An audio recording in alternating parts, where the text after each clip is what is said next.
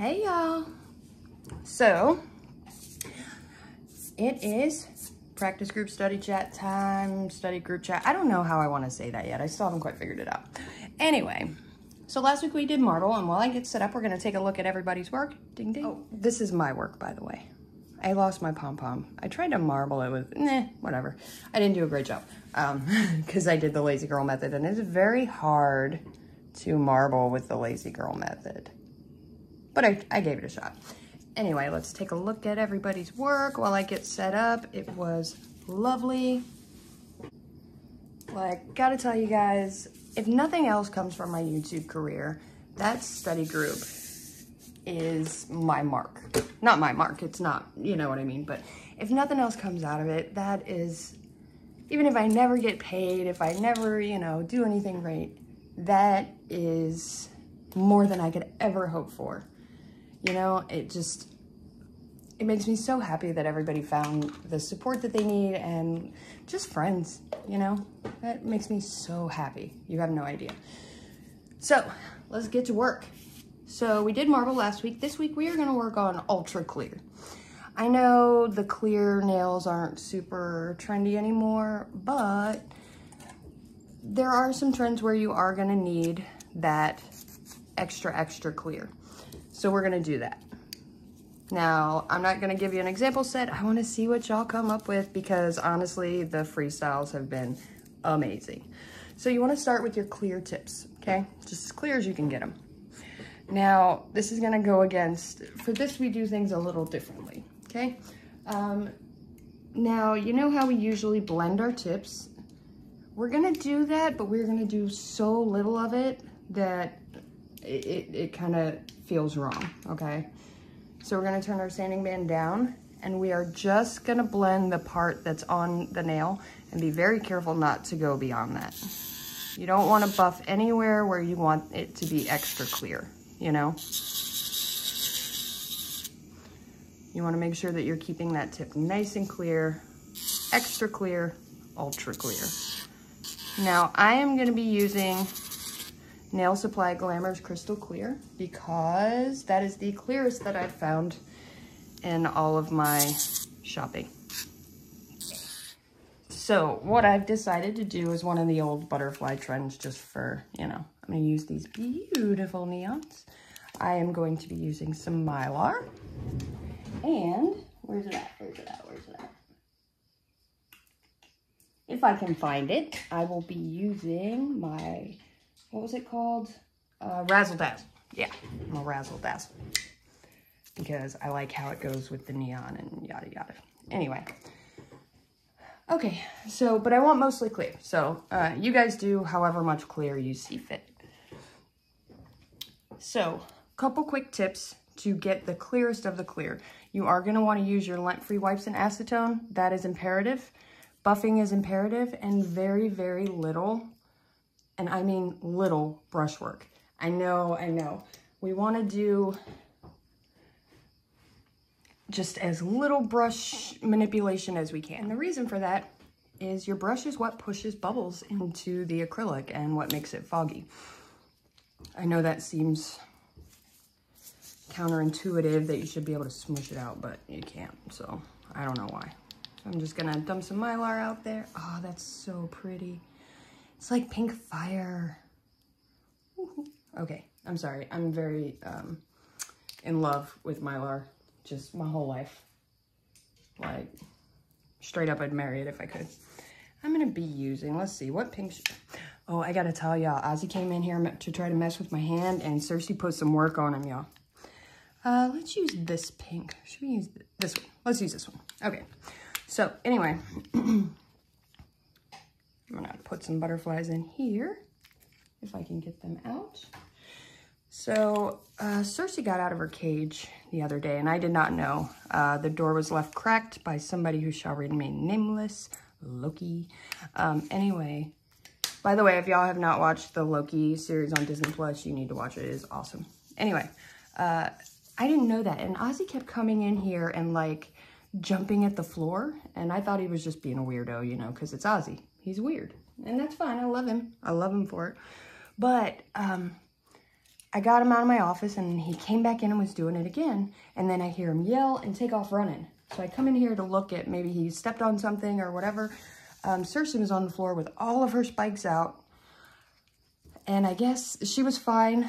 No injuries, no nothing. I guess he thought it was a regular, you know, little animal or whatever. And when she turned around and gave him the spikes and puffed up real big, it scared him. I guess he won't be trying to eat my hand or lizards anymore.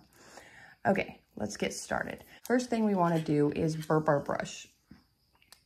Now to burp your brush, what you're going to do is put your brush down in your monomer and push all of the air out. You see all that air? That would have been bubbles in our acrylic. I just did my nails, so there's a little acrylic at the bottom of that. Now, once the bubbles stop coming out, you have effectively burped your brush. So I'm going to lay some clear down to put, basically hold my uh, butterflies and mylar. And I'm going to start down here just like we would with anything else.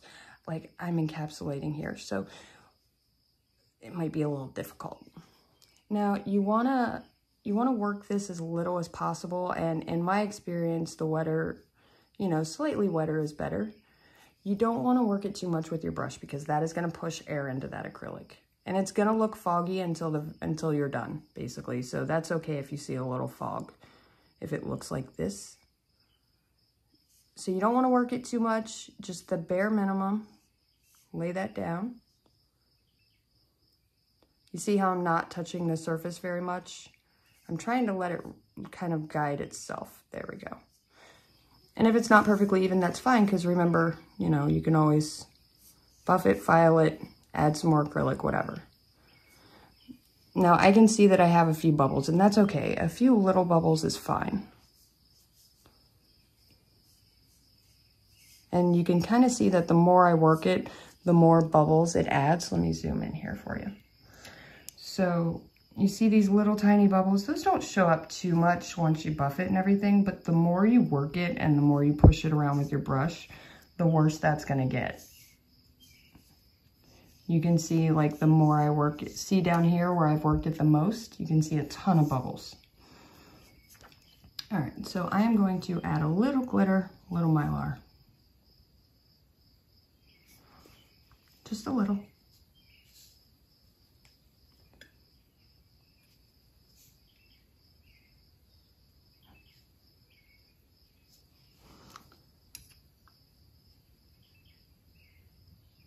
Now, I don't know what the proper, like if drier beads work or whatever, just in my experience, the wetter beads tend to help me stay clear.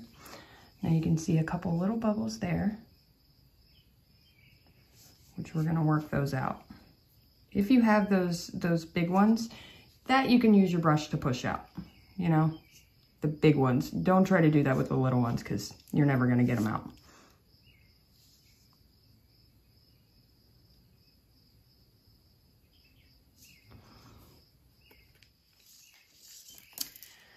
Okay. now, since I'm doing a clear nail, I'm just gonna do a thin layer of clear over top of this. So I'm gonna take the biggest bead of clear that I can do. And remember, I, I, I suggest burping your brush between each bead because that air can, you know, collect in there. So again, we wanna let it work its way down as much as we can without having to use our brush too much.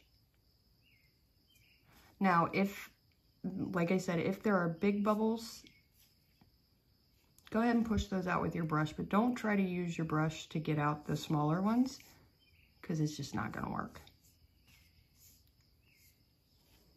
I'm trying to see if I can show you what happens. So I'm gonna tap it with my brush and I want you guys to see the bubbles that pop up when I do that. Now, see how it's kind of pushing more and more bubbles into it? That's why we want to use as little brush as possible. Hmm. It's striped. It's weird. All right.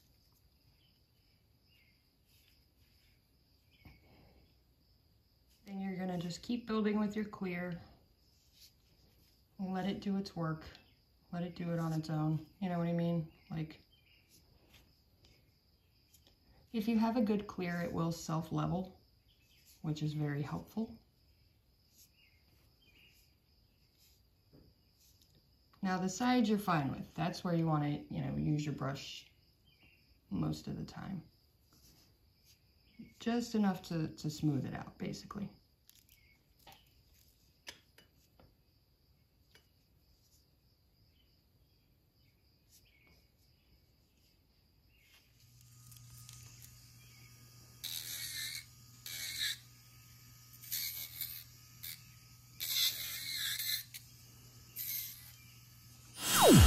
Now, you guys noticed I did my normal filing routine because that doesn't matter. file it however you file. Once the acrylic's dry, that's not gonna cause you any, any fogginess or bubbles, right?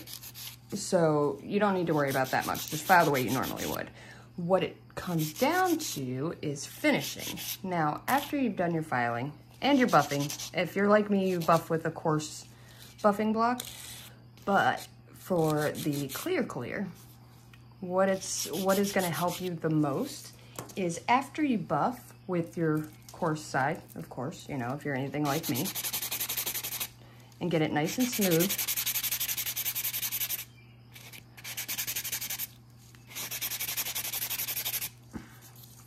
Now, once you've done that, I want you to take the fine side or a very fine grit file and go over the surface again.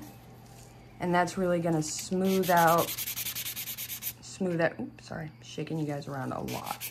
That's gonna smooth everything out the rest of the way, okay? Now, after we do that, what I want you to do is melt it. I know, I know, it sounds weird, right? So you're gonna take your acetone. Let me turn this back around. There we go. So you're gonna take your acetone. Let's focus. There we go. And you're just gonna scrub the crap out of it, like a lot. Make sure you do underneath as well. I know, yeah.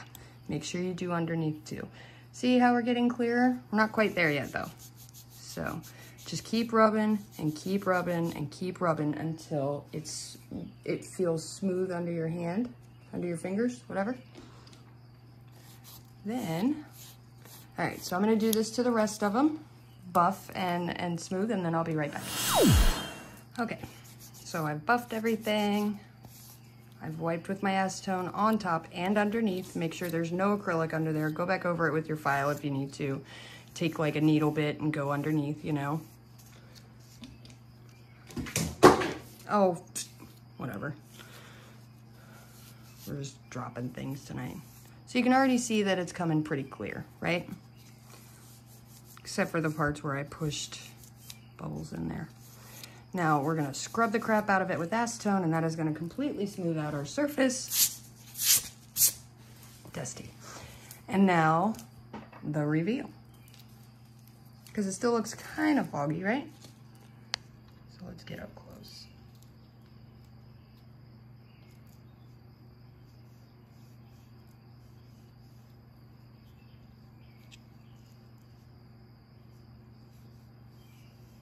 And there is our clear.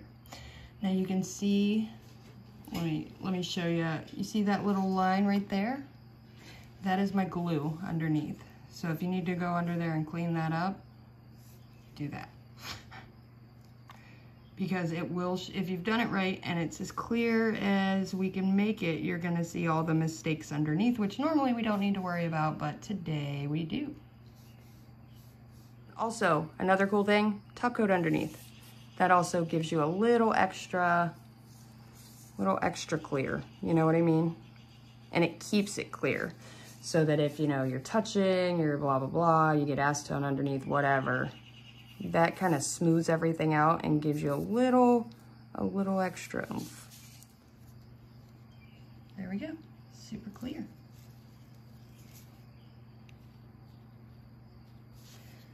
So, I'm gonna finish these up. Now, show me what you got, ladies. You can do negative space, you can do what I did here. Just have fun with it and show me what you come up with. All right, so I'm gonna finish these up and I will see you, ladies, in the group chat. Yeah, absolutely you want to make sure you're buffing it with the fine end of the block. You want to make sure you're rubbing it really good with acetone and you want to make sure that you are top coating underneath and that is how you get the super clear. So I will see you ladies in the group chat and as always, thanks for watching.